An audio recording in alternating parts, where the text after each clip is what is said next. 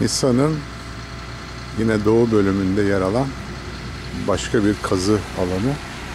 Burada ortaya çıkarılmış bir cadde görüntüsü var.